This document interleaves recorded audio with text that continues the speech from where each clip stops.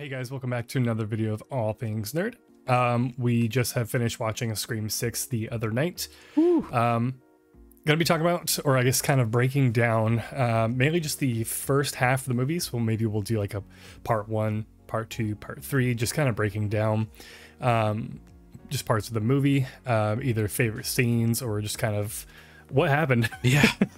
in the movie.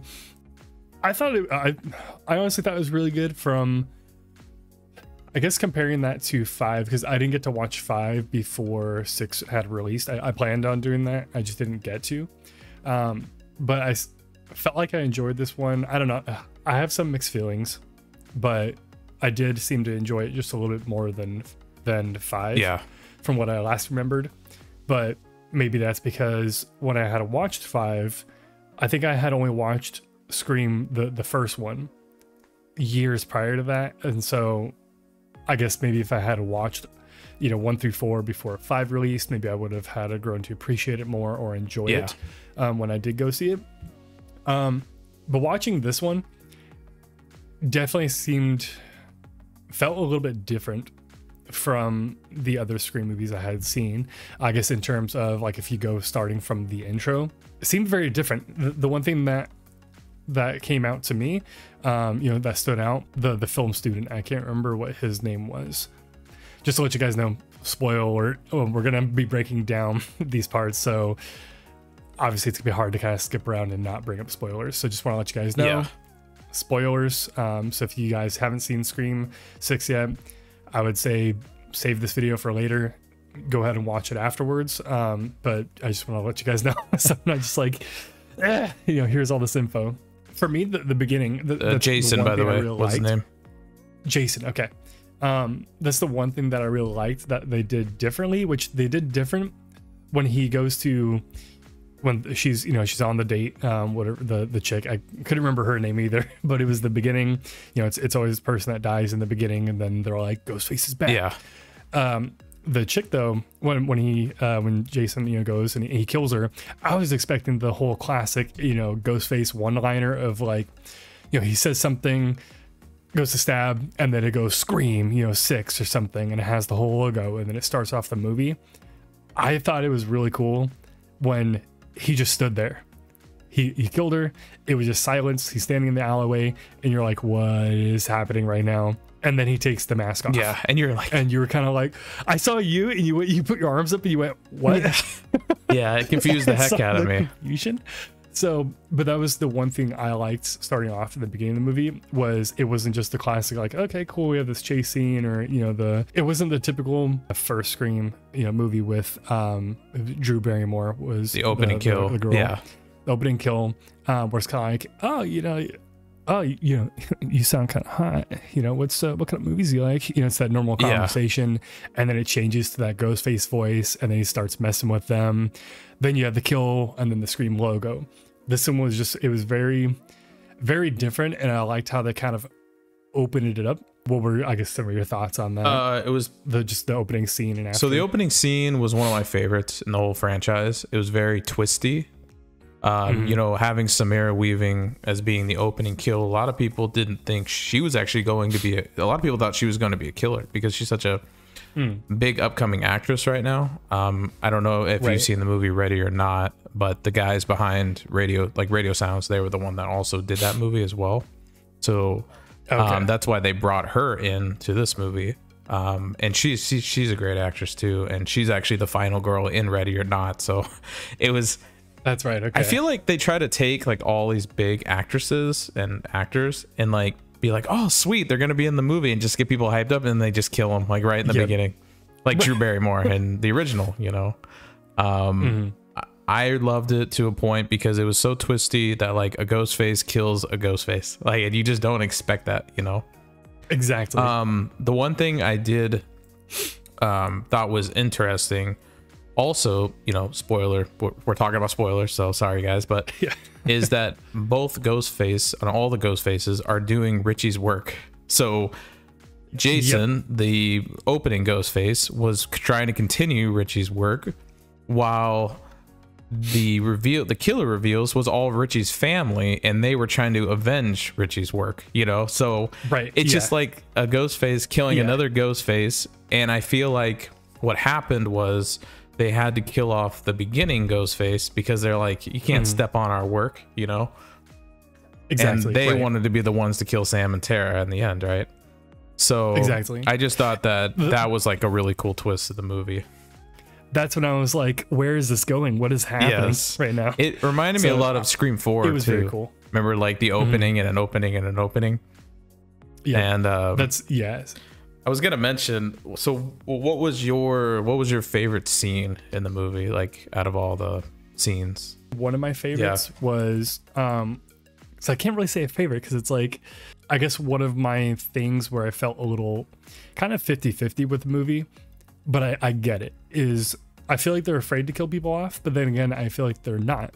And the only reason why is because they don't have very many OG characters that are going to be left in these movies. Mm. So it's kind of like, well, you can't really kill off, you know, like let's say there's, you know, the uh, the the uh, twins, right? Or you know, just brother and sister. I guess. Yes. Um, so them, it's like okay, well, you have the core four, you know, core four. um, you have all these characters. Well, you can't really kill people off if you're trying to build up a new cast. Um, you know, if you're trying to build up a new casting to continue the series. You know, otherwise, you know, let's say if they killed off like two of them, and then it's like, okay, well, then you have, you know, Sam and her sister. Okay, well, then you, are you going to introduce new characters, and then most of them are going to die the next movie? Like, you can't build up a cast list if you're just constantly killing them off. So I think they're trying to set them up for just the future of Scream. Yeah. But I would say, if anything, probably one of my favorite scenes was just the the um the little gas station or like the the little um liquor store Oh yeah, that, I was gonna mention that.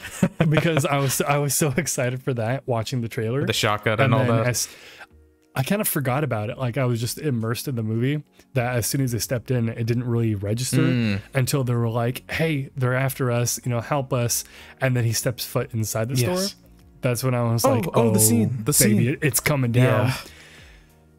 and that's just kind of the thing is like most of the movies from what i remember you know ghostface is usually killing people that are close to the core you know group in the movies Yeah. they're trying to kill like most of the main characters um but then in this movie it was like hey mister you got a problem and he's just like slashing around killing random people Yes. and I Ghostface was like, brutal. that's not some, it's not something I really expected, you know, obviously in, in the trailer, but it was just like these people are on a mayhem and they're on a mission for whatever that mission is, just to kill them. So that that was I wanted to ask you because I know in Scream Five, you had said like, um, what was it? Oh, about Chad the first time when he got like stabbed. Like you were just like, oh, don't expect stab, stab, stab, stab, stab. Oh, remember? Yeah, This one was so on- brutal, like ten times more. So, so my only thing was I actually thought this movie was going to be more brutal. yeah, Um, which it was. I honestly, I it was, but I almost feel like any of the like gory scenes that they had in this movie wasn't like I was expecting them to top Dewey's death Mm, and Okay. with with the gore and like how the kills were going to Yeah. be. And I just felt like this movie for me it was it was jarring. Like when you go from the original you know the first four screams and then you jump to five and then you have Chad and you're kind of like oh no they got Chad. And then all of a sudden it's just stab stab stab stab stab stab, Yeah. stab really fast. That is like disturbing yes. to see. Is just knowing that within five seconds you've been stabbed like 40 times. Um so that was jarring. And that's what i liked about five was just the way that they killed people was different. This movie it was kind of like hey, remember the way you stabbed somebody um, 20 minutes ago? Yeah, can you keep just doing that every single time? like it's, it's brutal. Yeah.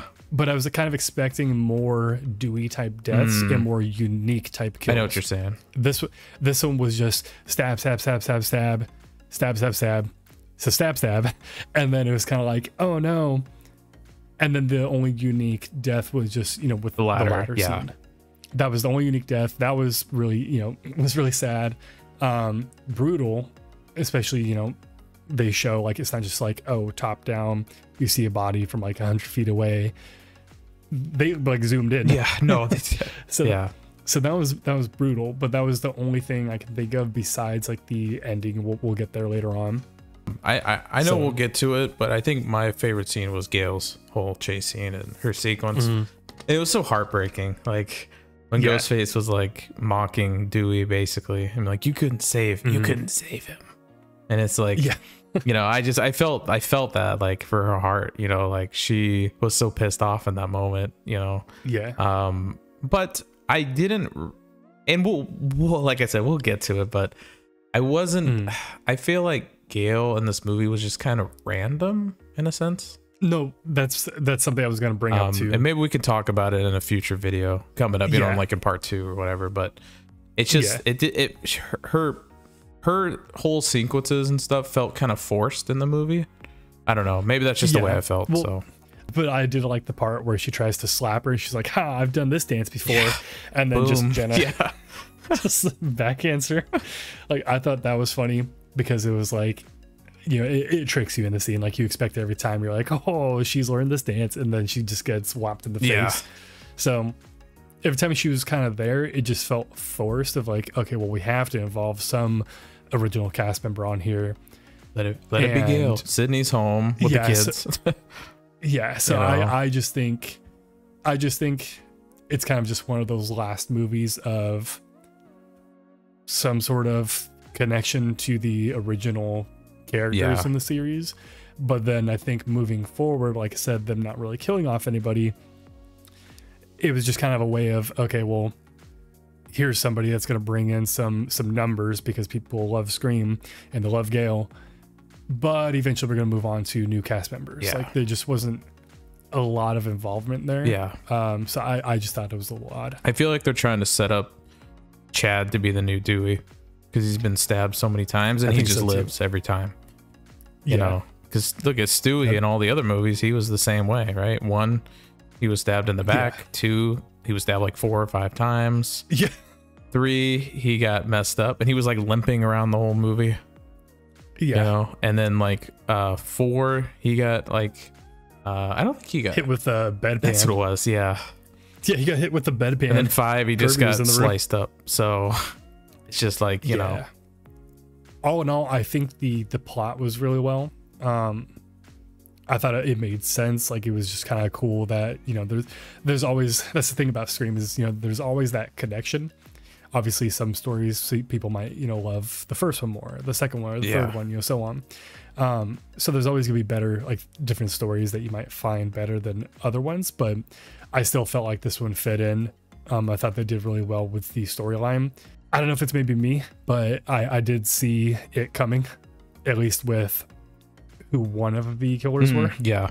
Um, so I, I did see that coming with at least one of them, but I think by the end of it, it was kind of like it, it felt like it was a good movie. Like it wasn't just something of oh, well, Like a cash very, grab or something. boring. Yeah. yeah, or like cash grab. I, I think they still did pretty well. I think it's, I think it fits in well with the rest of the movies of the Yeah. series.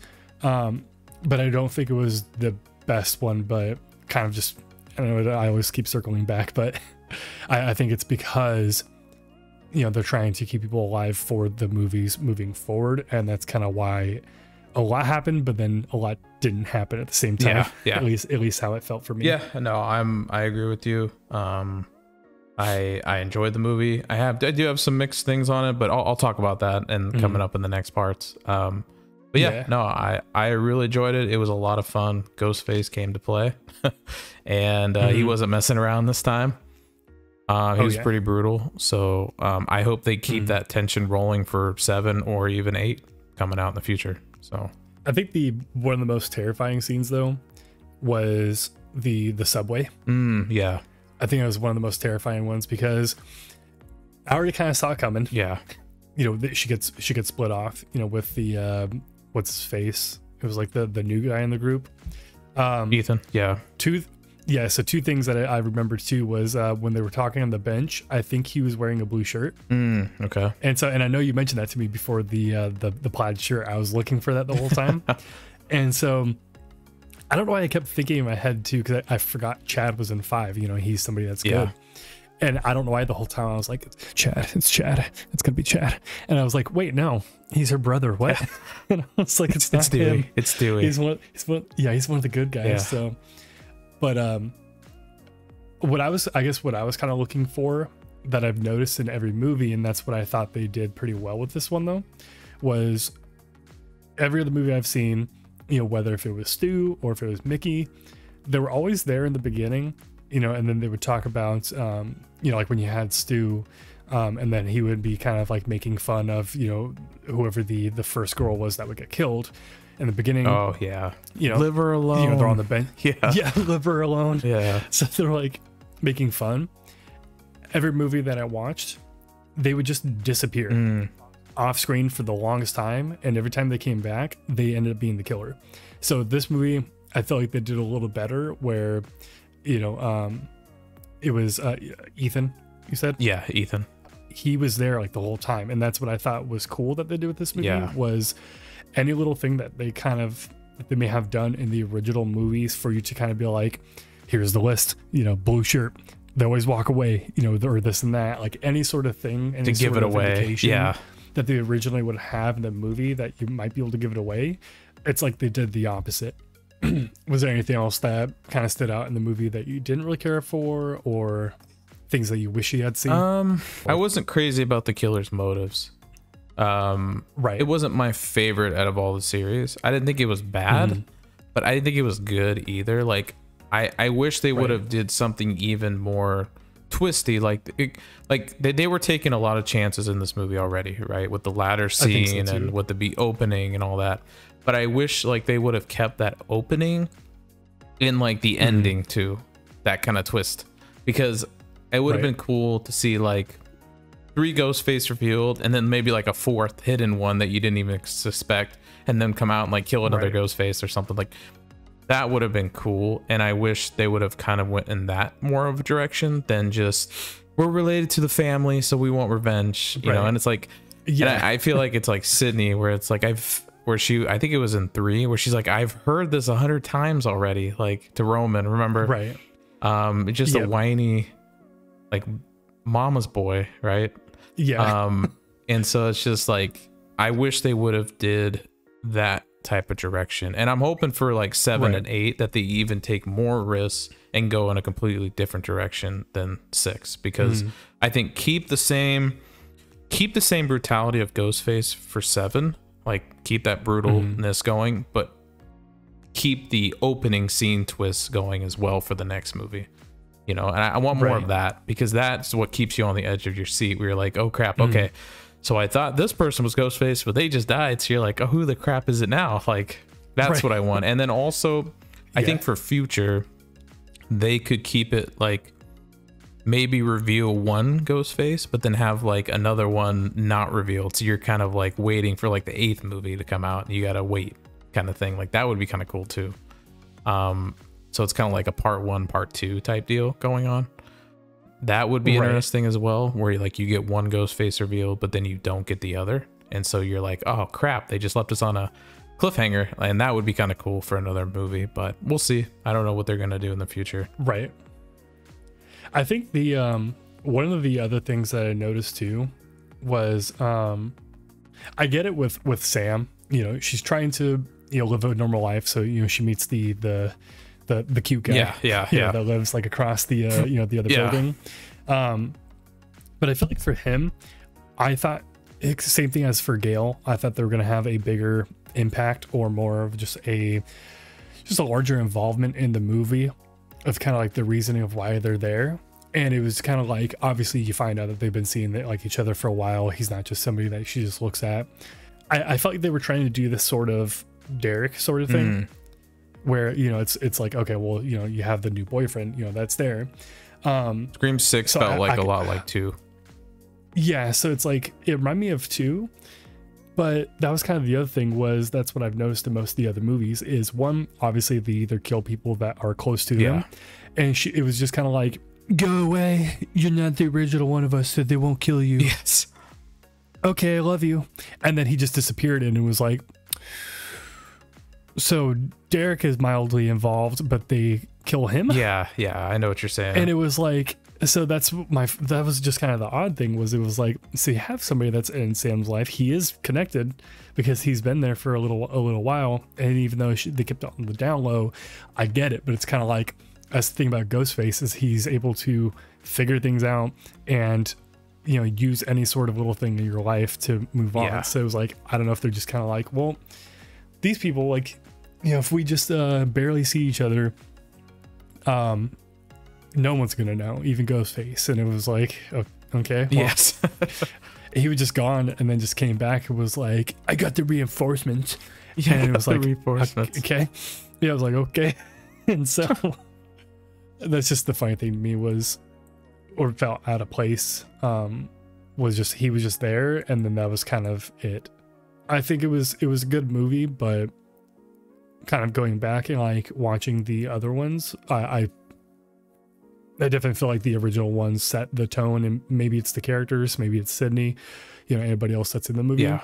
But I thought those ones, just the stories and the plot, made they, they definitely were better, but their reasoning for doing like the Ghostface, whoever it was, their reasonings were made more sense to me, and I thought was a lot cooler. Versus you had this one, and it reminded me a lot of uh, that movie Sick that you showed Oh, showed I love that movie. that's what it reminded me of and i don't know if anybody's watched that movie um, that's called you know sick um, a pretty decent movie it's uh, you said it was made that by the same guy who made um, scream right? who, yeah, who who writ, who wrote, wrote Scream, the original, yeah. Kevin Williams. so it's yeah so it, it has like elements in there.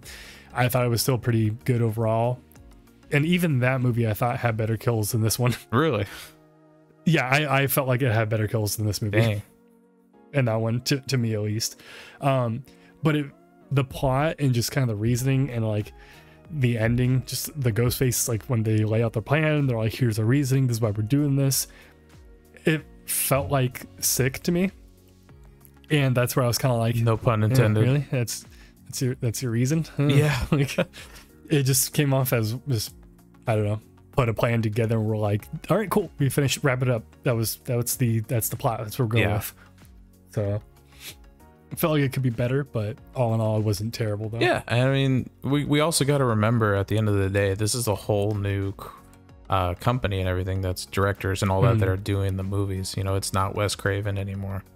So Right. um, it's still Kevin Williamson does help write them, but he's just kind of a side guy now. So you know, gotcha um, the and the movies are still distributed by Paramount, but it's like it's Radio Silence who has the rights to the movie now. Mhm. So, you know, they're the ones who have been writing the movies, and I, I think they're doing really well for taking a very well-known, Yeah. consistent horror franchise that's always been good in Right. every movie and continuing what they're doing. I think they're doing amazing with it. So I like the direction Yeah. they're taking it. i mean it could have been something completely different that's the thing Yeah. is you know mentioning that uh, that could be like any other company where they could have taken you know scream and all of a sudden like i know that's kind of the thing with scream at least is it's more of tropes that they play off of not necessarily that it's comedy Yeah. has some comedy like elements that are in there this one definitely felt more like they kind of done away with most of it because that was the thing it was like we're done with the tropes we're done with this and that you know um that's kind of what i liked about this one Yeah. was it was a little more serious they had some of the same tropes but because things were done so differently it was like it felt like most of it was going in a direction of a i wouldn't say true slasher horror you know because i think scream you know is one of the best in in the um you know in that genre but it seemed like they kind of had done away with most of the last uh, like the funny stuff and most of what you had seen was done very differently Yeah. um but they, they definitely could have been like cool thanks for the rights bud and then just change it into like a complete um Not a good scream. you know tr- trash like Yeah. trash series you know making it filled with comedy and basically could have just turned scream into scary movie Yeah. like they, they could have done that and luckily they didn't and so i think knowing that and somebody had taken on a very you know, well-known ip and you know doing something with that that they i think they did pretty well Well, it could have been worse. Could have been directed by like Michael Bay and just have explosions every two minutes. It's like much. a Transformers movie. You know? Yeah So, Yeah, that's good. But um, I think it's about yeah, I mean, I don't, I don't have much Well- say to, more say. yeah. I mean, we'll, we'll, like I said, we'll break down some more Yeah. of it, uh, some of the other scenes, um, you know, dive into the ending of Scream, um, especially because obviously all that breaks down, you know, the reasoning Yeah, and you know why they're doing what they do. So we'll talk about that a little bit more later on, but um, kind of it for me though. yeah, no. Um, hopefully we can go watch the movie again. That would be fun. All right, guys. Well, I appreciate you guys, uh, you know, sitting around. Yeah, thank you guys. um, you know, listening to the, you know, listening or watching the, the uh, video. Um, let us know what you guys thought of Scream. I know some of you guys have seen the movie when it first premiered on Thursday. Um, but if you guys have seen it, you know, let us know maybe some of your thoughts, you know, whether good or bad, um, about Scream 6. If you had seen it Thursday or, you know, yesterday or even today, um, let us know what you guys thought about it. Yeah, um, give us your thoughts. We will see you in the next video then. So, all right, we'll catch you guys later. right, take care, guys. Peace. Bye.